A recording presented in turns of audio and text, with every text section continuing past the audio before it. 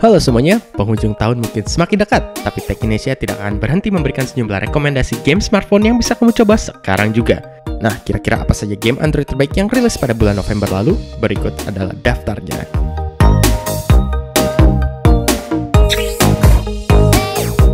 Lebih baik terlambat daripada tidak sama sekali. Ya, Micro Machines sekarang sudah bisa kamu mainkan di platform Android. Game balap mobil miniatur ini masih mempertahankan tampilan sudut pandang kamera top-down seperti game di era NES. Dari segi gameplay, Micro Machines versi modern ini tidak kalah seru dibandingkan pendahulunya yang muncul di konsol. Di sini kendaraanmu bahkan juga dilengkapi dengan senjata dari Nerf, lini mainan pistol buatan Hasbro yang juga sama-sama menaungi Micro Machines. Jadi, kalau kamu ingin memainkan game vehicular combat racer yang cukup seru di smartphone, maka Micro Machines adalah pilihan yang tepat. Apa kamu siap dengan aksi para pagulat mencegah invasi pasukan beruang permen? Iya, kedengarannya sangat absurd, tapi aksi dalam game Burrito Bison yang sangat seru serta visualnya yang lucu pastinya bisa membuat kamu melupakan hal tadi. Terdapat beberapa pegulat yang bisa kamu pilih untuk membasmi pasukan beruang permen yang berniat menyerbu bumi. Dengan berbagai kemampuan spesial yang dapat ditingkatkan berkat fitur upgrade, kamu bisa melaju sejauh mungkin di atas para musuh dalam aksi endless platformer. Wajib dicoba kalau kamu suka game yang tidak perlu banyak mikir. Game yang sangat digandrungi di warnet-warnet tanah air ini sekarang bisa kamu mainkan juga di mobile. Meski memang bentuknya menjadi jauh berbeda. Point Blank Mobile merupakan game cover-based third-person shooter sederhana di mana kamu hanya bisa berpindah tempat berlindung sambil menembaki semua lawan yang muncul. Selain melawan AI, Point Blank Mobile juga pastinya memiliki mode multiplayer yang memuat 8 pemain sekaligus. Oh iya, ada pula mode single player campaign yang didampingi cerita dalam permainannya. Penerbit FDG Entertainment telah merilis game platformer unik yang permainannya bisa dikatakan mirip dengan Super Mario Bros.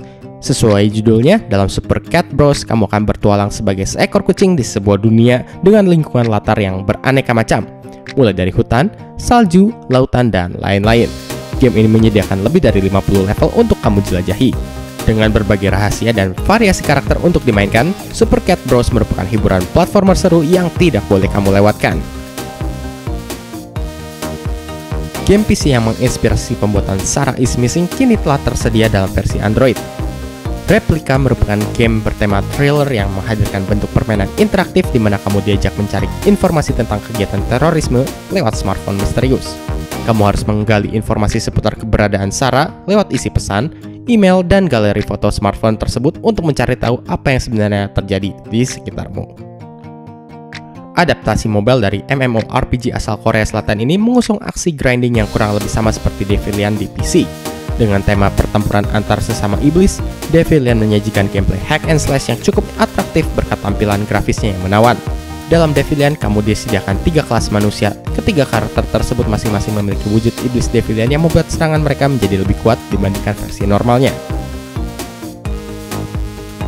game manajemen tim sepak bola ini sudah sangat terkenal di platform PC dan sekarang muncul kembali dengan sequel baru yang dikemas untuk platform mobile.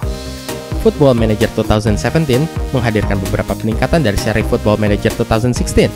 Selain sedikit peningkatan di bagian grafis, game ini juga mendapatkan perkembangan pemain bola dari kesebelasan terkini dan penambahan fitur liga baru seperti Liga Turki dan Polandia. Jika kamu suka sepak bola, Football Manager 17 harus masuk dalam daftar mainmu. Mencari simulasi balap mobil yang tidak kalah seru dengan Real Racing 3, CSR Racing, dan sejenis di platform mobile, maka Gear Club adalah pilihan yang tepat. Eden Games selaku developer telah mengantongi puluhan lisensi mobil sport terkenal seperti Chevrolet Camaro, Lamborghini Aventador, dan banyak lainnya, supaya setiap sesi permainanmu terasa layaknya seperti balapan di dunia nyata. Agar fitur kustomisasi dalam Gear Club semakin menarik, setiap kendaraan yang kamu modifikasi dalam game ini juga diperhatikan secara mendetail, sehingga semakin memuaskan hasratmu dalam mencari pengaturan mobil terbaik. Asphalt Extreme akan membawamu ke dalam sebuah aksi balap ekstrim yang melibatkan bermacam lokasi eksotis dan berbahaya mulai dari padang gurun, dataran es, hutan, dan lain sebagainya. Untuk menghadapi jalur yang kian ekstrim ini, kamu akan diberikan aneka jenis mobil, mulai dari jeep biasa hingga monster truck. Total ada 35 mobil dari 7 tipe kendaraan yang bisa kamu pilih di sini. Seperti game Asphalt sebelumnya, kustomisasi juga penting untuk membuat kendaraanmu tampil prima di segala medan. Sudah siap menghadapi jalur yang penuh bahaya? Jangan ragu untuk mengunduh Asphalt Extreme sekarang juga. Penggemar shoot 'em up berarti Toon Shooter 2 wajib untuk kamu mainkan. Dengan gameplay side-scrolling shooter ala Gradius atau R-Type, kemampuan refleks dan kecepatanmu akan diuji untuk bernavigasi di tengah-tengah semburan proyektil dalam game. Sesuai dengan judul game, Toon Shooters 2 kembali menghadirkan grafis ala film kartun yang tampak segar sekaligus seru. Berkat variasi jenis musuh maupun pesawat yang kamu bisa kendalikan, kamu dijamin tidak akan cepat bosan memainkan Toon Shooter 2.